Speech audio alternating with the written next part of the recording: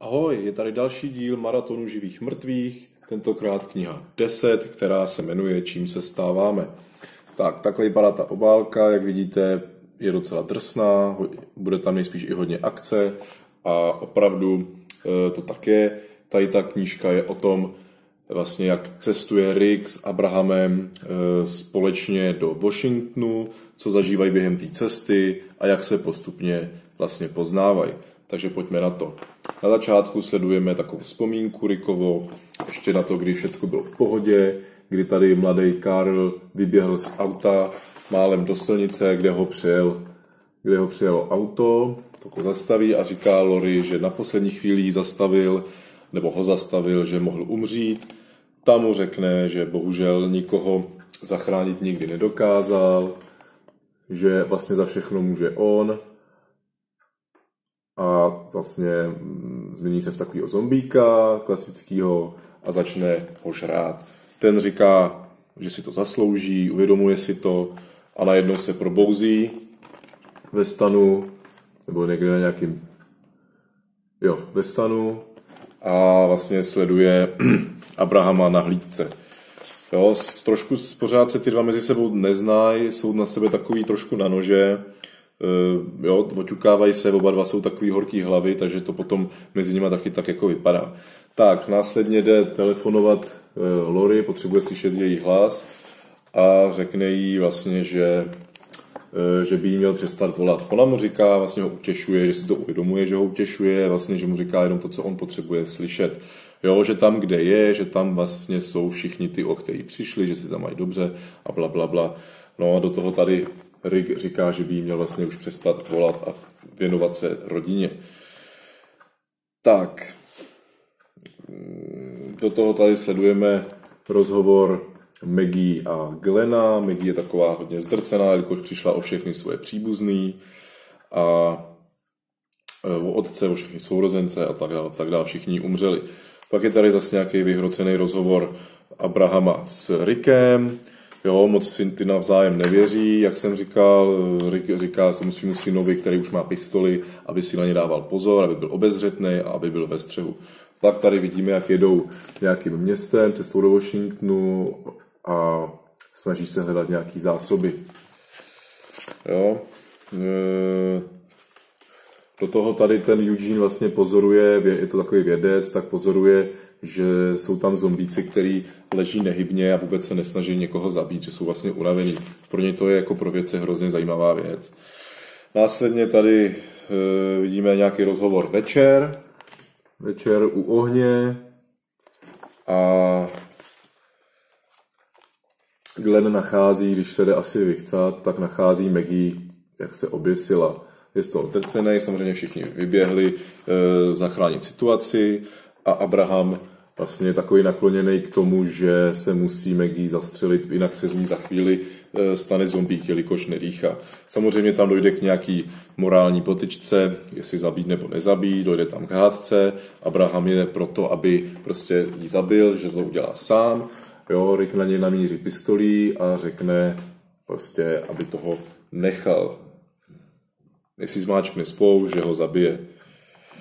Tak, následně se Maggie probouzí a vlastně všechno je v pohodě. Jo? Abraham je z toho trošku špatný, to se nic se neděje, e, nebo nic se, nic se nestalo.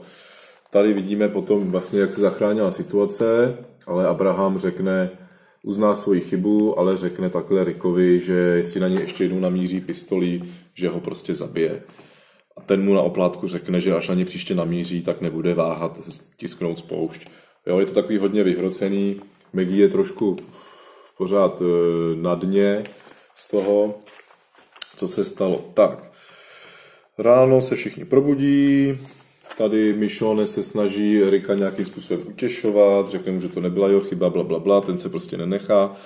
Jo, následně tady dojde k nějaký raní potyčce se zombíkem, situaci zachrání Abraham. Tak, Potom tady sledujeme, jak Abraham je takový trošku špatný z toho, jak eh, s ním právě Rick eh, den předtím mluvil, jak byl na, něj drsnej a vybrečí se tady té rositě na rameno. Prostě nechce, nechce dál zabíjet, nechce se vrátit k zabíjení, protože má asi nějakou hodně, hodně temnou minulost. Jo, pak je tady taková strana, která vlastně ukončuje ten sešit a vydávají se dál na cestu. Tak, během cesty narazí na, na nějaký zátarasy, takže jsou nucený se zastavit a zachránit situaci, nebo respektive e, jak by ty zátarasy odstranit.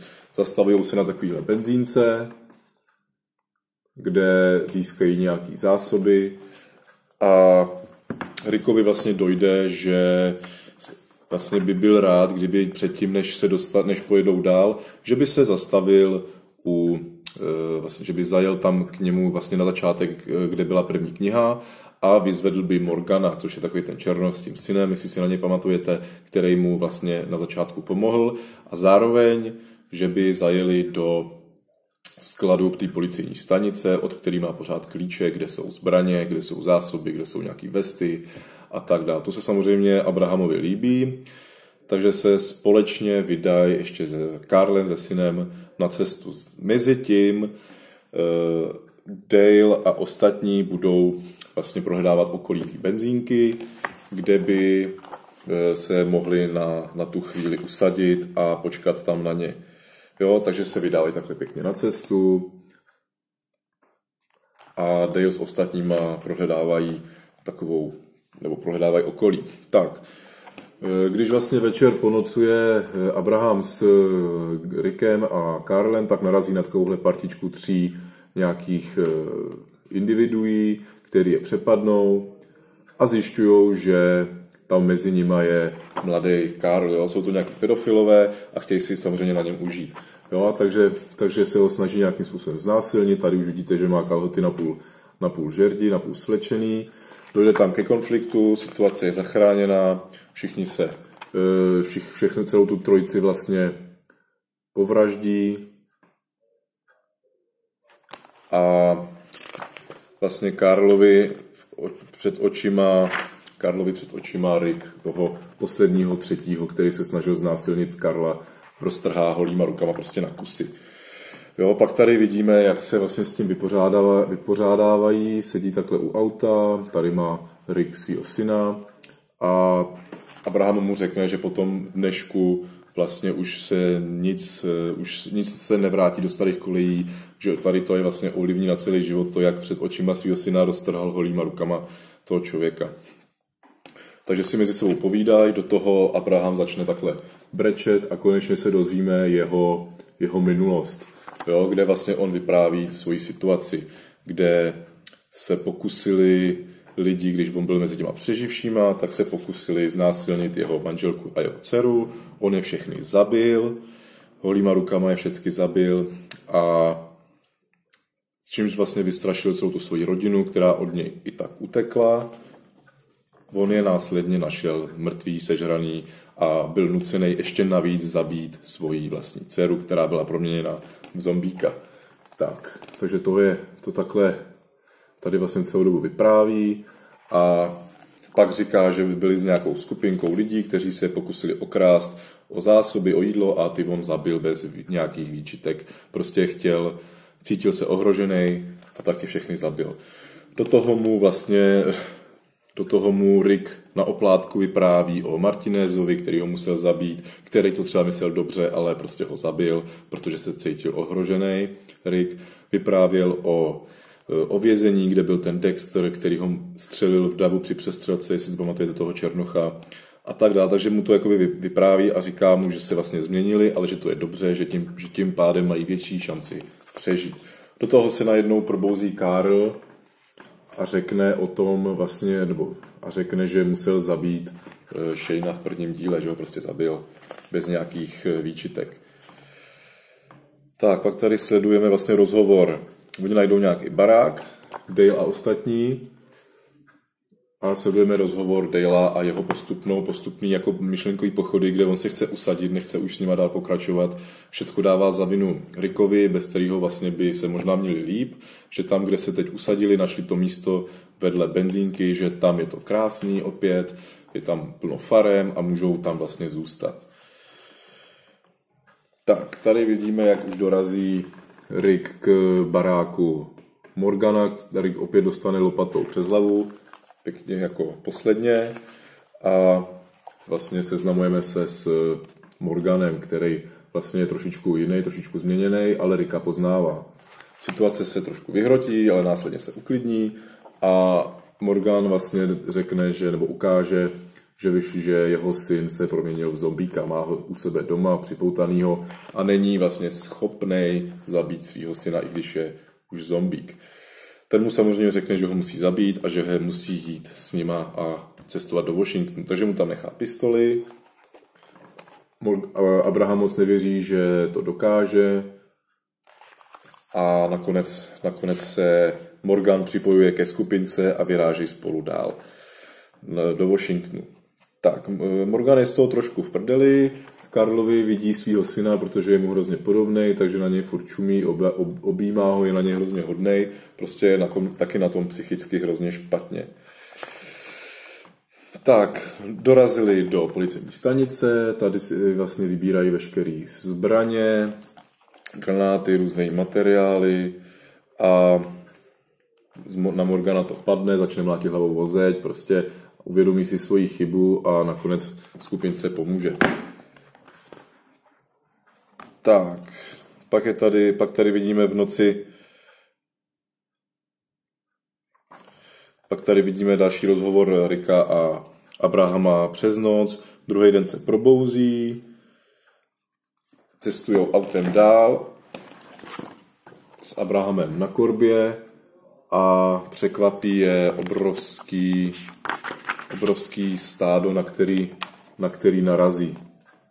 Jo, takže jim nezbývá nic jiného, otočit se nemůžu a musí cestovat dál. Nezbývá jim nic jiného, než se tím stádem prostě prorvat, takže na hulváta prostě projíždějí skrz ty zombíky s Abrahamem na korbě, Abraham tam lítá nahoru dolů, jo, nakonec auto trošičku nabourá a se to roz, rozlepuje, no, ta vazba je opravdu, opravdu ohovně.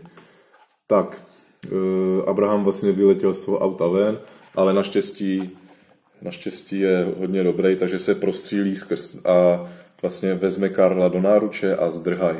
Jo, takže tak tady vidíme, jak vlastně všichni přežili a zdrhají před stádem. Samozřejmě nechtějí tady to stádo, aby je pronásledovalo a aby e, ho, vlastně dotáhli k, k Daleovi a k ostatním a k pumpě, kde na ně čekají. Takže Karl tady dostane nápad, uvidí nedaleký barák, že se tam usadí, budou dělat, musí tam udělat velký kravál, vlastně nadeženou tam to stádo a zdrhnou dál, takže aby vlastně nahnali čas. Takže naběhnou do baráku, tady prolítnou barák, najdou cokoliv, co by mohlo dělat nějaký kravál. Morgan najde nahoře takhle rodinku, tady ustřelená hlava, tady nějaká další mrtvola, tady je taková vrtačka, nevím, jestli to vidíte, mrtví děti. Je z toho hodně, hodně v prdeli, hodně takový ještě zničený, jo, protože čerstvě vlastně byl hnucený zabít svého syna a řekl ostatním, že našel nějakou autodráhu, která bude dělat kravál a vypráví, co viděl. Otrávil svý děti, pak jim rozvrtal mozky vrtačkou, zabil manželku a zastřelil se. Všichni jsou mrtví. Následně tam přišli ty zombíci už a skupinka utíká dál. Tak, potom tady vidíme uh, Dejla, vlastně uh, vracíme se zpátky k Daleovi a k té skupince přeživších, co ten, co čekají na Rika a Abrahama.